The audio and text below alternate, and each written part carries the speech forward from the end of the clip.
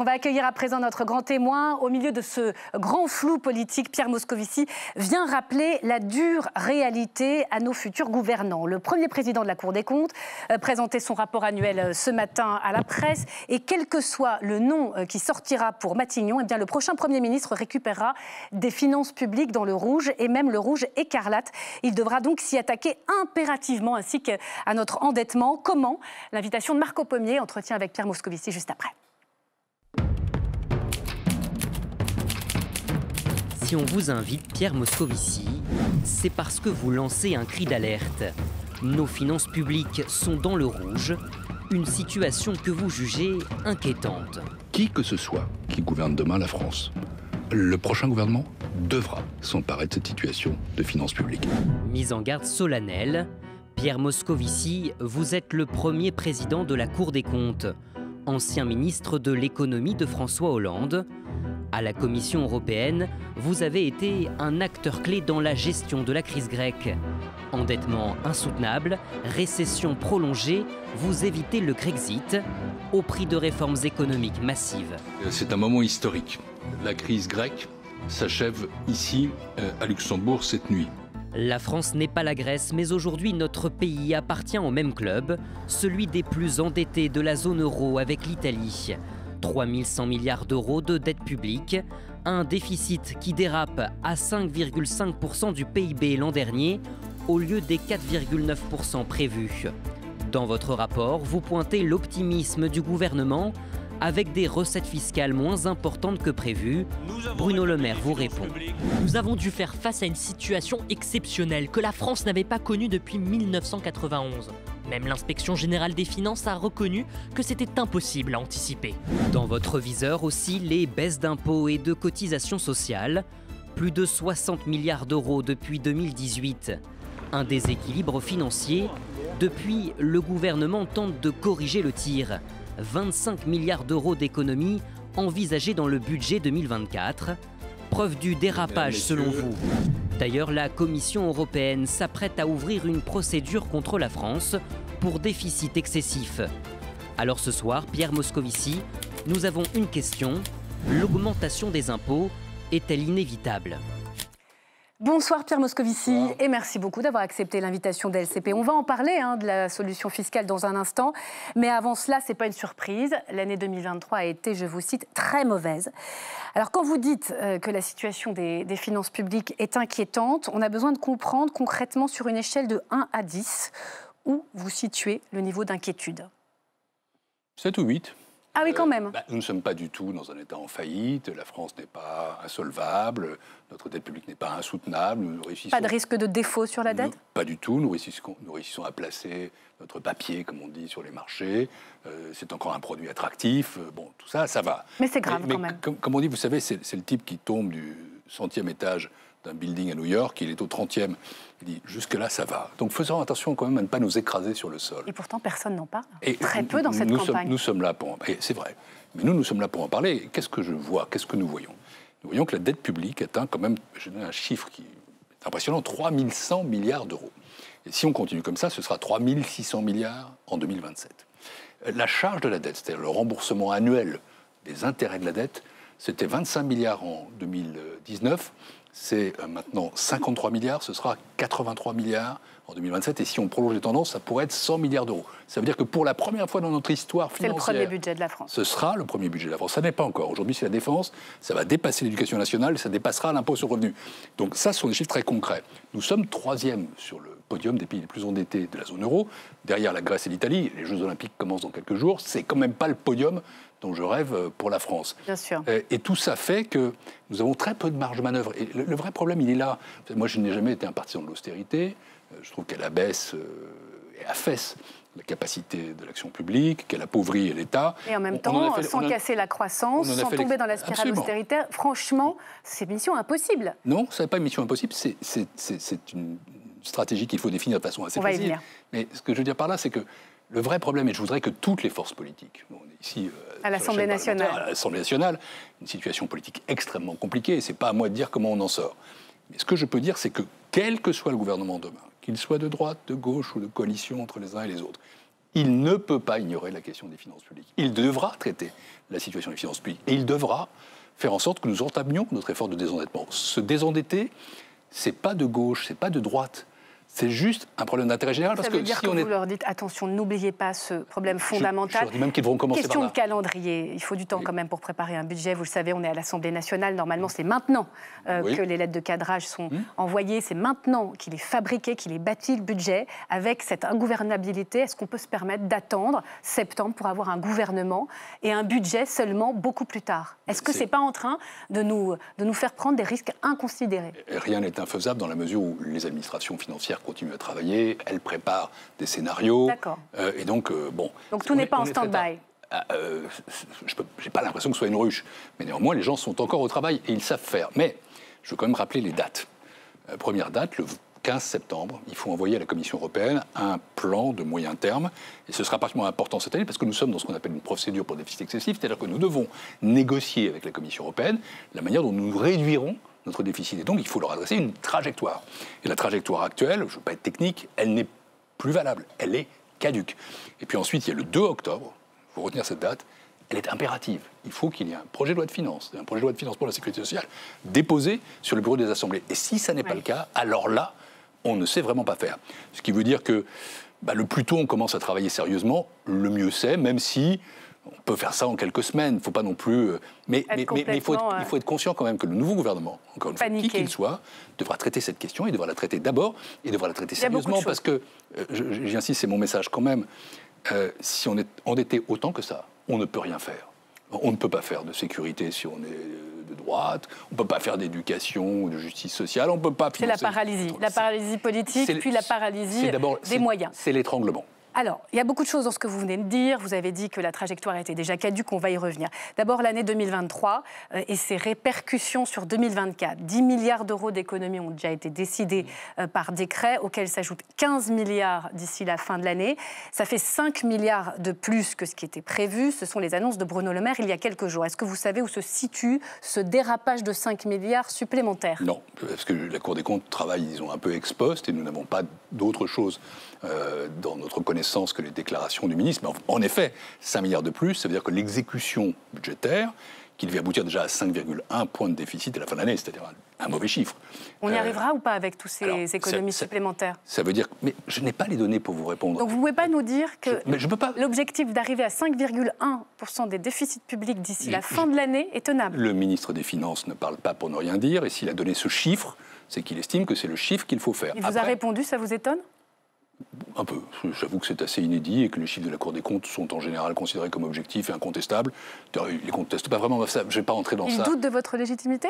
Non, je pense qu'il est euh, dans une situation où il a besoin de défendre un bilan, euh, ce que je comprends. Euh, mais bon, je ne vais pas entrer du tout dans cette. J'ai une estime tout à fait euh, réelle pour Bruno Le Maire. Je sais ce qu'il a fait, je sais ce qu'il n'a pas fait. Euh, Je sais pourquoi il n'a pas fait ce qu'il voulait faire. Euh, bon, il le sait aussi, mais on ne va pas entrer dans ce débat Mhm. singulier. Et j'aurais Les préféré. moindres recettes fiscales. J'aurais préféré que cette Aurait peut-être dû être corrigée Je- avant. Je ferme la parenthèse pour dire qu'en tout cas, c'est un dossier tout à fait prioritaire, qu'il faut traiter très sérieusement, euh, et qu'encore une fois, il faut réduire notre dette. Il faut se placer sur une trajectoire qui la réduit. Alors on y va parce sur que la sinon, trajectoire. On est en effet étranglé, puis paralysé. Vous avez dit euh, déjà la trajectoire, c'est-à-dire revenir aux 3% euh, en 2027, n'est pas crédible. Vous voulez euh, 50 milliards euh, d'euros Non, d'économies toujours pas. pour y parvenir. La, la Cour des comptes, là, reprend les chiffres du, De budget, de Bercy, et nous parlions de la stratégie euh, d'avant. Mais mon message, il est pour devant. Oui. C'est-à-dire que c'est le gouvernement, encore une fois, je ne sais pas lequel, qui devra élaborer sa propre Donc trajectoire. en 25, 26, 27, 25, 25, 26, 27. 50 milliards. Alors, je, je ne sais pas. ou- ou moins selon les, déjà les dizaines de milliards déjà engagés. Attendez, je vais essayer d'expliquer. Je vous en prie. Encore une fois, cette trajectoire euh, dont nous parlons, c'est la trajectoire du gouvernement actuel, qui sera bientôt l'ancien gouvernement. Je ne sais pas quand il passera en affaires courantes et je ne sais pas quand il y en aura. Demain, au Conseil des Voilà, ministres. mais je fais semblant de ne pas savoir. Mais il y en aura un nouveau. Ça, je ne sais pas vraiment. Et c'est ce nouveau gouvernement qui dira quelle est sa trajectoire. Donc, en fonction de ça, il peut, par exemple, dire bah, les 3%, c'est pas réaliste, je vais aller plus doucement. Mais il doit dire comment il le fait. Il doit donner des signaux crédibles. Et il doit les donner à qui? À la Commission européenne. La Commission européenne, j'ai été commissaire européen en charge de ces sujets, elle est, contrairement à ce qu'on pense, plutôt bénévolente. On peut discuter avec elle, à condition de faire preuve de volonté et de montrer qu'on s'inscrit dans le cadre des règles. Donc moi, je pense qu'il y aura ce dialogue. Euh, et donc je ne peux pas donner les chiffres précis parce que je ne sais pas exactement d'où on part. Euh, le temps est un peu suspendu, effectivement. Ben, absolument. Et, quand même, il faut, il faut laisser au nouveau gouvernement sa responsabilité pleine et entière, y compris sur les finances publiques. Mais ce qui est très important, c'est en toute hypothèse qu'on nous dise, voilà, on se désendette en tant d'années, voilà comment on fait, voilà les réformes qu'on fait. Et une procédure pour déficit excessif veut dire quelque chose de très précis. C'est-à-dire qu'on s'engage envers la Commission européenne sur un nombre d'années à préciser. Ça peut être 4 ans, ça peut être 7 ans, à réduire chaque année de 0,5 points de PIB le déficit du structurel, c'est-à-dire celui qui est indépendant de la conjoncture. Autrement dit, c'est quand même un effort important à faire. Vous allez nous dire où vous trouverez euh, les économies. Parce Ils trouveront, parce que nous, Je sais, mais la Cour des comptes sert quand même un peu de, guide. Il y a un point dans le euh, rapport... J'aimerais en tout cas que ces chiffres ne soient pas contestés, parce qu'ils sont simplement objectifs. Nous, nous sommes là pour dire aux citoyens quelle est la situation, nous l'avons dit ce matin. Et on entend je pense que chacun doit le lire à Bruno Le Maire. Le camp présidentiel réponse a fait toute sa campagne sur la promesse de ne pas augmenter les impôts. Pourtant, le rapport relève, je vous cite, des hausses implicites et non documentées euh, des prélèvements obligatoires pour les deux prochaines années. Qu'est-ce que ça veut dire? Est-ce que le gouvernement a menti? C'est une question que vous devez poser au gouvernement, parce que là, ce sont des chiffres du gouvernement. En tout cas, vous avez des, interrogations, elles sont nombreuses, dis donc. Nous, ce que nous avons constaté, c'est pour ça que je disais 2023, c'est sûr, c'est très mauvais, 5,5. 2024, ça se présente pas très bien, on dit 5,1, mais il y a d'abord des économies, on vient de le dire, qui ne sont pas totalement documentées. Et il y a aussi des recettes qui ne sont pas documentées non plus. On nous dit par exemple qu'il y aura 3 milliards d'euros qui viendront d'une taxation des rentes qui n'a pas été votée par l'Assemblée nationale. Et oui. Et donc il faut quand même qu'il y ait une validation par l'Assemblée et qu'en plus on obéisse à certaines règles constitutionnelles, notamment ce qu'on appelle la non-rétroactivité. Donc nous avons des petits doutes. Et pour la suite, pour 2024-2027, dans la trajectoire qui avait été envoyée en avril, oui, il y avait 21 milliards d'euros. Ce n'est pas un chiffre qui est à nous. C'est un chiffre qui est le chiffre du gouvernement de hausse de prélèvements obligatoires. Alors de quoi ça vient? Est-ce que ça vient d'une estimation spontanée pour le coût de recettes? Est-ce que ça vient de nouveaux impôts? Nous ne le savons pas, parce qu'on n'a pas dit non plus quelles étaient la source de... Mais ça veut dire une chose, c'est-à-dire quand même que la réflexion sur la fiscalité, il y avait une question qui était... On y vient à l'instant tout le monde peut se la poser. Ça n'a jamais été tabou. Alors justement, jusqu'où c'est plus tabou, la question des, impôts euh, Il y a, euh, dans le débat public, euh, la question de la justice fiscale qui, monte et qui est très claire, et puis depuis des, mois, des années maintenant.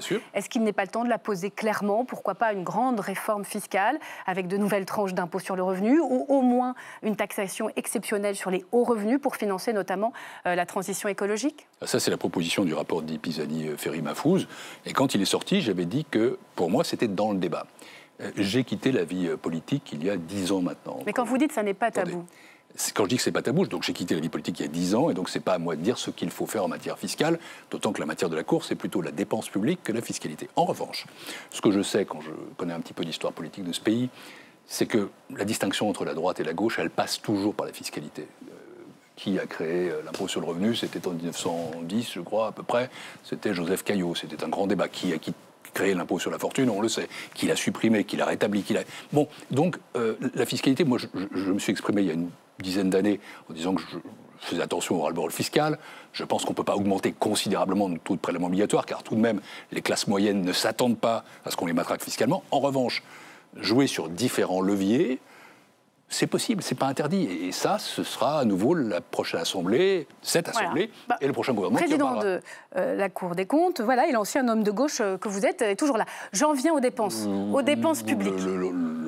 simplement, quelqu'un qui connaît un tout petit peu l'histoire de ce pays. Euh, les dépenses publiques. On sait que le gisement principal des économies. Je ne fais pas de recommandation. Elle se trouve sur les dépenses sociales. Quand vous voyez les levées de boucliers sur la réforme des retraites, ou sur l'assurance chômage. Est-ce que vous pensez vraiment que le pays est prêt à accepter euh, cette baisse de dépenses publiques que euh, vous, vous, appelez de vos voeux? Je, ne, peux pas dire qu'elle est uniquement sur la dépense sociale. Ça, c'est une certaine lecture des choses. Je pense en réalité que si on fait un effort de maîtrise de la dépense, vous savez, au fond, les finances publiques, c'est très facile. Il y a trois façons de réduire un déficit. Il y a la croissance. Et en effet, vous l'avez dit euh, dans une phrase antérieure, il ne faut pas y toucher. On ne peut pas, casser la croissance par l'austérité. Il y a les impôts et il y a les dépenses. Alors, les, dépenses publiques. Les impôts, j'en ai parlé. Après, Comment les dépenses, vous les réduisez? Malgré tout, il faut maîtriser les dépenses. Et là, je vous donner aussi quelques chiffres. Je ne veux pas accabler euh, les téléspectateurs, mais nous avons quand même 56% du PIB qui est représenté par les dépenses publiques de notre produit intérieur brut. C'est le taux le plus élevé du monde. C'est 8% de plus que la moyenne de la zone euro. ce ne serait pas critiquable en soi si les Français avaient la sensation que le service public marchait. Mais on peut faire un coup de rabot sans tomber dans l'austérité Non, il faut absolument pas faire de coup de rabot. Il faut justement jouer sur toute autre chose. Il faut jouer sur la qualité de la dépense publique. Et quand on regarde, pour le coup, politique publique par politique, en soulevant le capot, en quelque sorte, des politiques publiques, on s'aperçoit qu'il y a des politiques qui sont efficaces et d'autres qui ne le sont pas, qu'il y a des politiques qui sont justes et d'autres qui ne le sont pas. Parce qu'on nous parle de dérembourser les médicaments ou d'arrêter les transports médicaux-hôpital, c'est pas ça qui va ramener les, milliards nécessaires. Vous citiez un rapport de l'inspection générale des finances que je ne connais pas, mais je sais qu'il y en a d'autres qu'on appelle des revues de dépenses, justement, politique par politique. Alors, euh, après, euh, qu'est-ce qu'il faut faire? D'abord, il faut aller taper, en quelque sorte, sur les dépenses les moins efficaces. Il y en a. Il faut taper sur les dépenses les plus injustes. Il y en a. Il faut que l'effort soit partagé. Et, ça veut dire que tout le monde doit être mis en contribution. Et l'État, et la sécurité sociale, et les collectivités. locales. Personne ne doit être à l'abri d'un effort partagé. Et enfin, cet effort, il doit être équitablement partagé. On parlait tout à l'heure des classes moyennes. Les classes moyennes de ce pays, elles ont quand même le sentiment d'avoir trop contribué. D'avoir trop contribué. Et il faut tenir compte de ça. Et derrière ça, enfin, il y a la question du pouvoir d'achat qui nous est posée. Je ne dis pas que c'est simple. Je ah pense que c'est au contraire de la marqueterie. Mais il y a un travail à faire qui doit être précis, euh, qui doit être détaillé, euh, qui doit être fin, qui doit être subtil. Et c'est ce que je préconise. On s'arrête là d'un mot. Euh, vous qui avez bonne connaissance des, de la Commission européenne, des affaires européennes, un gouvernement technique, vous connaissez bien Mario Draghi. Oui, Ça peut être la solution Commençons par le commencement. il y a une Assemblée nationale, elle a reflété un grand débat, et je pense qu'elle demande le droit au débat politique. Et c'est celui-ci qui doit primer avant de penser à la suite. Merci beaucoup. Vous restez avec moi, Pierre Moscovici. Un, gouvernement dit technique, d'abord, il est forcément politique. Mario Draghi n'est pas quelqu'un qui ne connaissait pas la politique. Et ensuite, ça n'est jamais, disons, que, quelque chose qui vient après. Ça, ne peut pas être quelque pas, chose vous, personnellement. Écoutez, je préside une belle institution et je ne veux pas ajouter des commentaires aux commentaires ou des noms à des noms. Je vois beaucoup de gens qui disent qu'ils sont prêts à être Premier ministre. Ils ne savent peut-être pas ce que c'est.